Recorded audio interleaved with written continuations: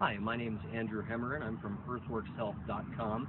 Today we're going to be demonstrating how to apply Perma-Guard crawling insect control diatomaceous earth to some plantings we have here, some plants. So if you direct your attention over here, using the product crawling insect control by Perma-Guard, we are putting this into our plastic dispenser. We would flip open the lid with the little holes and we would apply a visible application making sure we don't miss a spot around the actual planting area. That way, if crawling insects that want to eat at the leaves come in contact with it, they will come in contact with the diatomaceous earth first.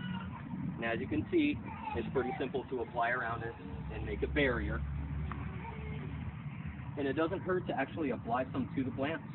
It's nothing wrong with it. Um, it won't affect the way the plants see light and do their photosynthesis. And it's as simple as that. So again, Perma-Guard, crawling insect control for all your crawling insect control needs to a planting like this.